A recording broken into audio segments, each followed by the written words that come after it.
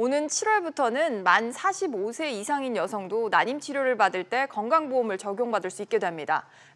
보험 적용 횟수도 늘어나는데요. 취재 기자 연결해서 알아봅니다. 이한나 기자. 네, 이한나입니다. 이 기자, 난임 시술 관련해서의 건강보험 적용 연령 제한이 그러니까 사라지는 거죠? 그렇습니다. 오는 7월 1일부터 기존 만 44세 이하 연령 기준이 폐지됩니다. 보건복지부는 오늘 난임 치료 시술에 요양급여비 요양급여 비용 기준을 확대한 고시 개정안을 행정예고했다고 밝혔습니다. 따라서 앞으로는 45세 이상 여성이라도 1년 이상 임신이 되지 않으면 건강보험 지원을 받을 수 있게 됐습니다. 정부는 여성의 연령이 높아질수록 임신율이 떨어진다는 점을 고려해 건강보험 적용 연령에 제한을 뒀었는데요. 출산율을 높이고 또 최근 결혼을 늦게 하는 추세를 반영해 이를 폐지하기로 한 겁니다.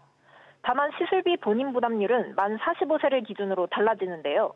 만 44세 이하 여성에게는 현재와 같은 30%를 유지하고 45세 이상 여성에게는 50%가 적용됩니다. 그렇군요. 한편으로는 건강보험이 적용되는 횟수도 늘어난다고요?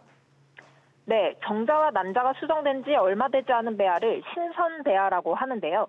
이 신선배아 최애 수정은 기존 4회까지 건강보험이 적용됐는데 7월부터는 7회로 늘어납니다. 또 정자와 난자를 얼린 상태로 보존 후 이식을 하는 동결배와 체외 수정은 기존 3회에서 5회로, 인공 수정 역시 3회에서 5회로 늘어납니다.